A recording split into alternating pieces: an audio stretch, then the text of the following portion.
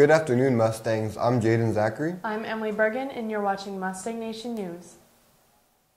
Yearbooks are now $100 and sales will be closing soon. The last day to order a yearbook is January 31st, so get yours now. The 24th annual February Fun Follies Through the Decades will be held Thursday, February 6th at 7 o'clock. Don't forget to pick up your entry form from Mr. Matlock in the choir room. Andrews County will be hosting a stock show this week. See Schoology for the schedule. Tomorrow is goat and sheep. The district swim meet is this weekend at the high school pool. Come out and support our swimmers. If you are interested in taking ASVAB Career Exploration Program test, there will be a form in Schoology to fill out. The due date is tomorrow.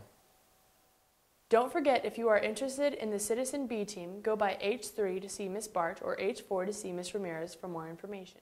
That wraps up today's announcements. I'm Jaden Zachary. I'm Emily Bergen. Have a thrilling Thursday. And stay gold, Mustangs.